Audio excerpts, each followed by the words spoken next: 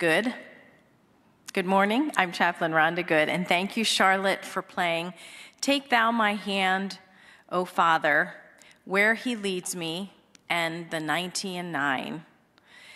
If you regularly watch devotions, you have probably figured out by now that I enjoy learning about the story behind our hymns and our songs that we sing. Sometimes the meaning of the song is enhanced for me when I know the motivation or the inspiration the writer had for creating the hymn. Today I'm going to share a bit about the hymn, The 90 and 9. This hymn is based on a well known story Jesus told. The story is short and is found in Matthew and Luke. Each writer included a few different details, and since it's a short passage, I will read both accounts. In Matthew 18 10 to 14, this parable comes after Jesus answers the question about who is the greatest in the kingdom of heaven.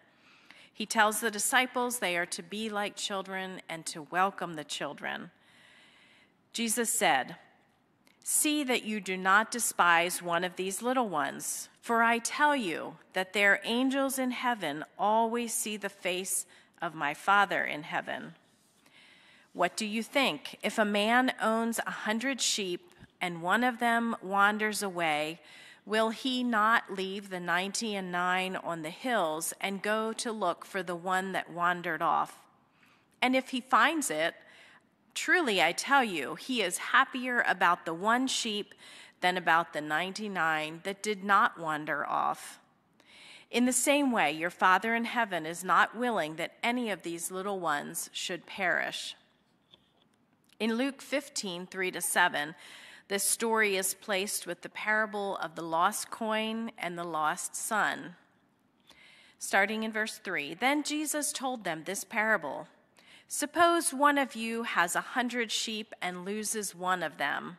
Doesn't he leave the 99 in the open country and go after the lost sheep until he finds it?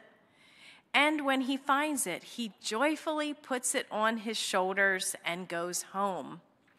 Then he calls his friends and neighbors together and says, Rejoice with me, I have found my lost sheep. I tell you that in the same way, there will be more rejoicing in heaven over one sinner who repents than over 99 righteous persons who do not need to repent. Elizabeth Clephane wrote the words to the song, The 90 and 9. She was born in Scotland and grew up in the village of Melrose.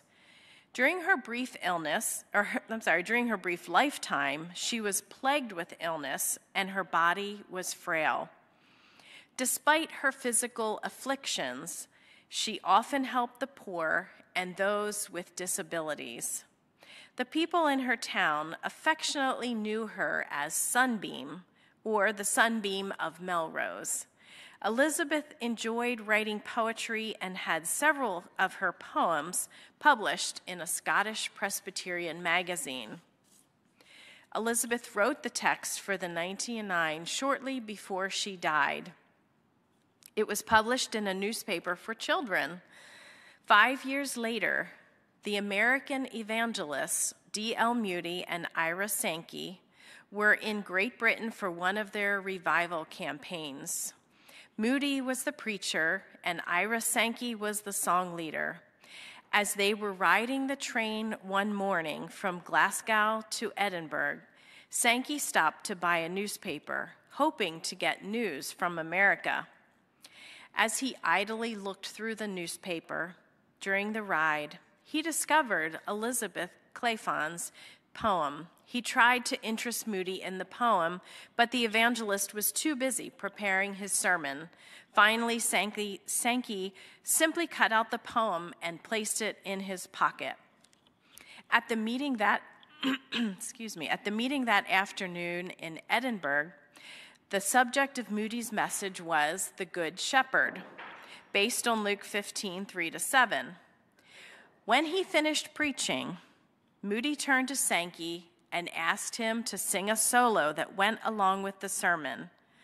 Sankey could not think of anything that was appropriate. Then suddenly, he remembered the little poem he had put into his vest pocket.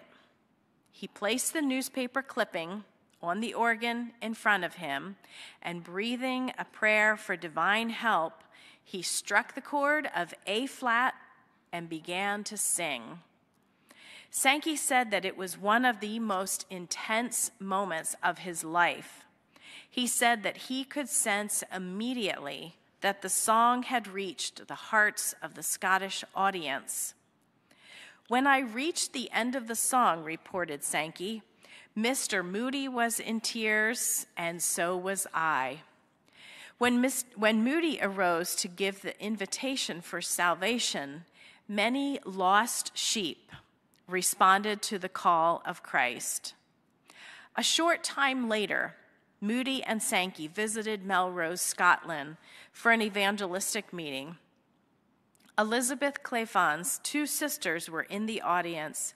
You can imagine how delighted and surprised they were when they heard their deceased sister's poem set to music and learned of the great spiritual impact it had. When I was a little girl, I spent a lot of time singing. I sang a lot with my sister, and sometimes our whole family would stand around the piano and sing together while my mother played the piano. But I often sang by myself as well. And for some reason, this song, The 90 and 9, was one song I always liked to sing by myself. Every time I sang it, I got teary eyed and choked up. When I read the story, about the writing of this song, I realized that I am not the only one who was deeply moved by this song. I think the image of Jesus going over rocks and thorny bushes to get a lost sheep was meaningful to me.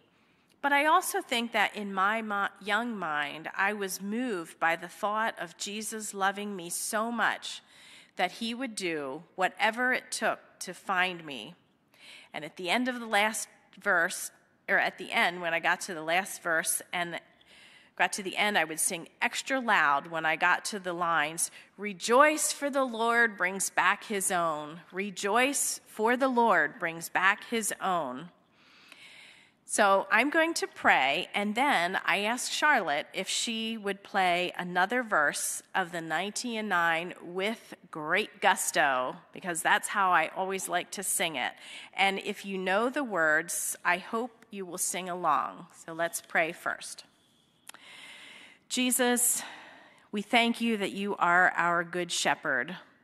We thank you for the way you care for each of us just like a shepherd cares for his sheep. And I pray that you would help us to continue to listen to your voice. Amen.